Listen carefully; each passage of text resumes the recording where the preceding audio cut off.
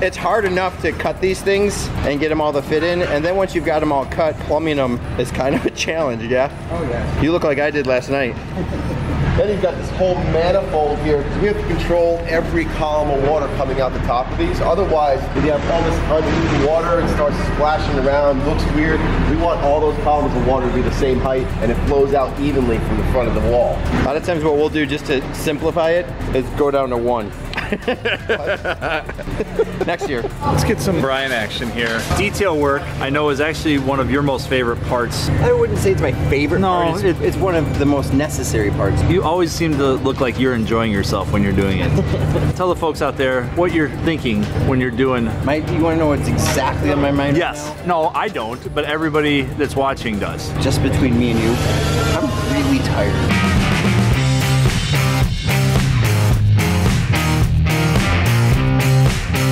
Jack, we are back at day three. Yeah, hump day, man. Hump day, we have got a lot to get accomplished today. Number one priority is this fountainscape. There is a lot of work to do with it. I know Brian got a lot of cutting done yesterday for our fabricating. Now we've got to actually get our liner in place. We've got two pretty good sized seams to do, and then all the plumbing associated with the fountainscape. Then we have to start closing it all in with our boulder work. The biggest thing I don't want to have happen is this thing sticks out like a sore thumb. So we have to really make it blend into the entire project. And doing all the rock work so that it complements the rest of the pond is going to be really key.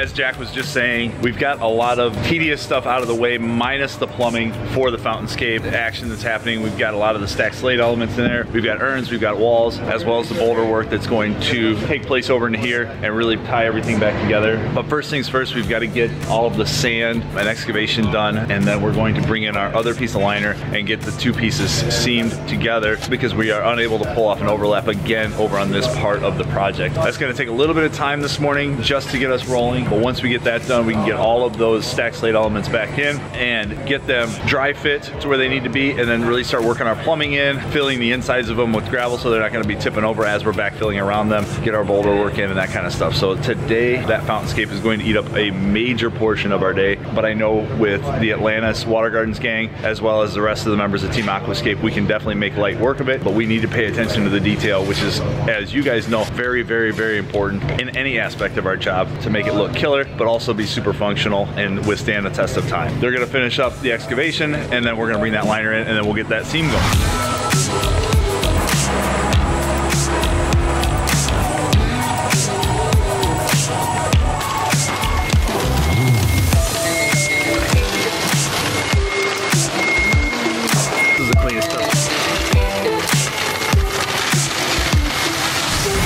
Base wall set for our foundation. Right now what we're doing is getting these really nice and level because if we don't level them, it's gonna come off weird in the face. It won't, it'll be heavier on one side, lighter on the other. So it's really important we get these level. We're gonna fill these with about a foot of this pea stone. It's just gonna go in there and that's just gonna provide ballast. It's gonna hold it in place so it won't move around when we get to backfilling and putting rocks around it. Now that we've got this one set, we can get this one leveled up and that's what sets the tone for the rest of the fountainscape. Then we can marry in our large urn. We've got other urn pieces. Then all those tops that Brian cut can get put on and we can finish this thing up and get some plumbing in here. So this just goes to show you how important laying everything out, kind of dry fitting it, Yeah. and then getting the foundation set so that everything else goes nice and smooth, The right? old adage, you know, measure twice, cut once, that's kind of what we're looking at here. Perfect. So once the gravel goes in and we get the weight inside the walls, we'll start getting the other pieces attached. I will cut back in the video and show you how the plumbing is going to be worked. You can see we've got the three inch line. Actually, there's two of them coming out of here. One of them is gonna go to the biofalls. The other is going to go to the fountainscape that you can see the Atlantis guys working on. So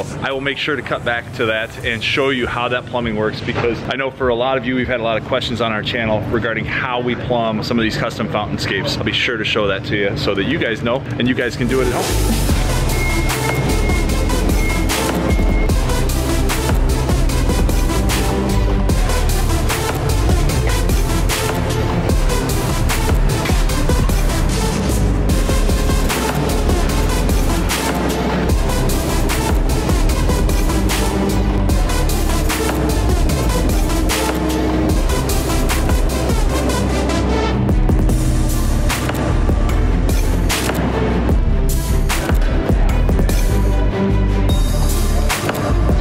Pretty cool. We've got this giant rock over here. Such an important part to every project is adding some accent boulders into the landscape. If the only rocks that sit around here are just in the pond, then it doesn't have that natural look. And it'll make it look like it's been here forever. You look off into the distance and like I got that big rock way back in there. We've got the giant rock that pergola sits in over there. We want to create some big boulders here and there. The last minute, Stuart from Universal Rocks sent us some of these big character boulders. Now what's great about these is Jack, turn around really quick. Oh!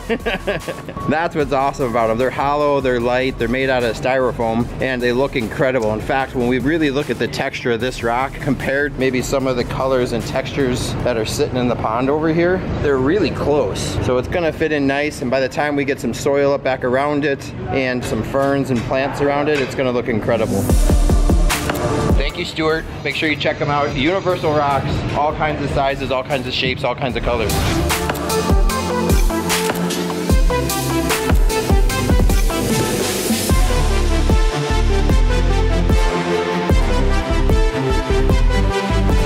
Wanting to landscape this thing like we're in the Colombian rainforest. I'm thinking over more here. like Adirondack style. You said Pacific Northwest. Yeah, same I mean, it's kind of Pacific Northwest, and really we're kind of limited on what we can do because it is January. Yeah. In January in Chicago, we don't have like flats of annuals and all kinds of stuff. But it being just after Christmas and everybody just tossing Holy Christmas cow. trees, I was able to collect a couple Christmas trees that we can use here and there. Uh, that's a couple.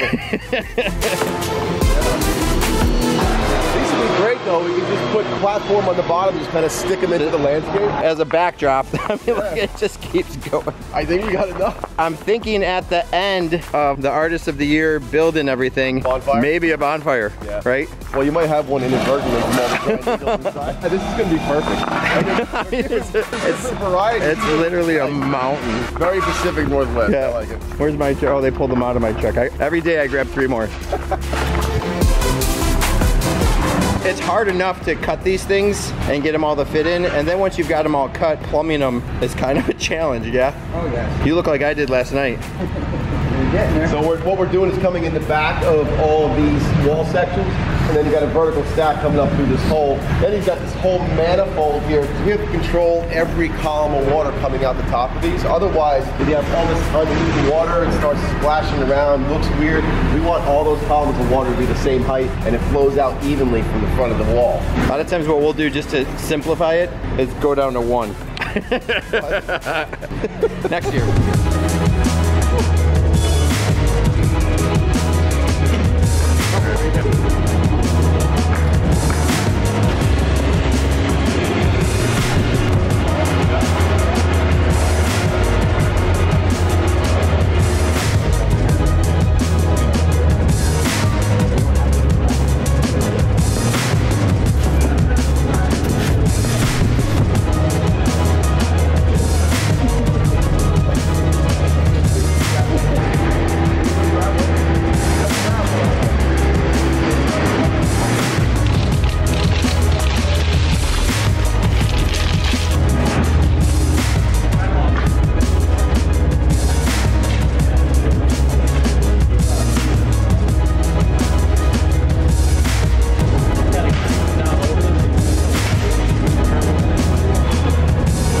Then. Now what's your plan?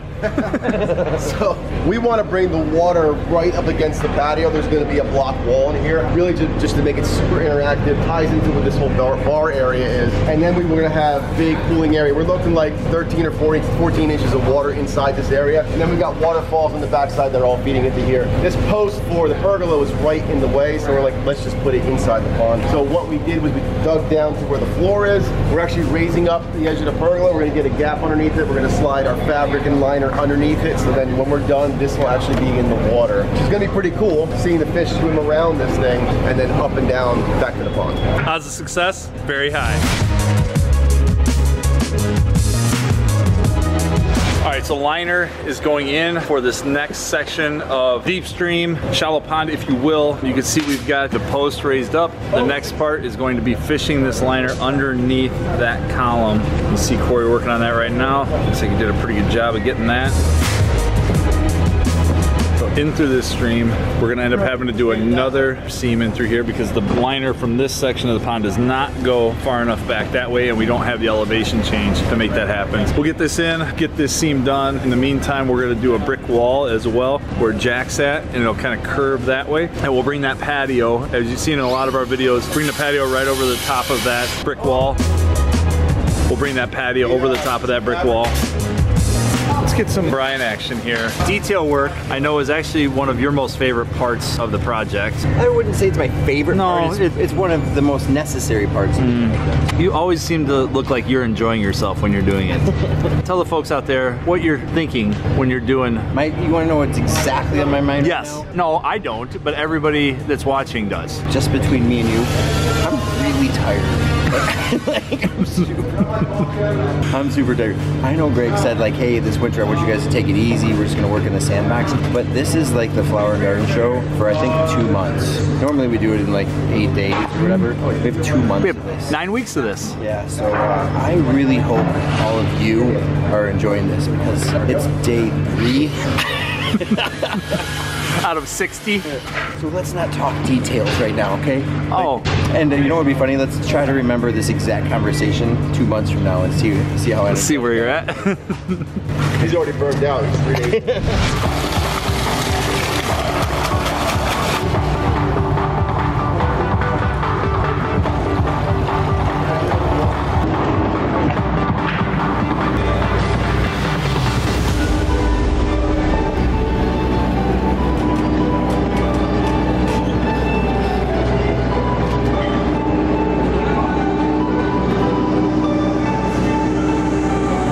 biggest rock on the project.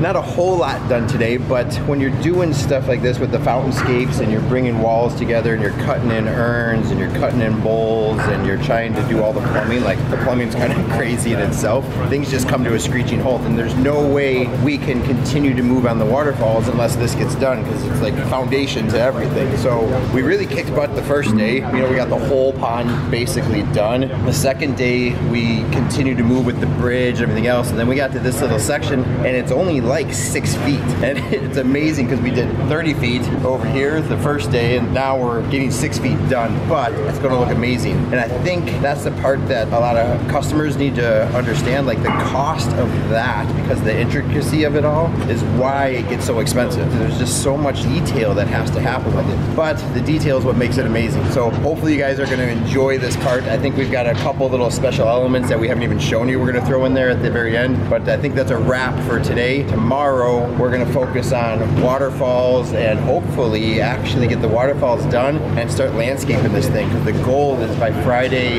morning-ish. I know that pond guy, you've heard of him, really wants it done Friday morning for photo shoots. I don't know if Friday morning is going to work out, but we will have it close to Friday morning. Thanks for watching.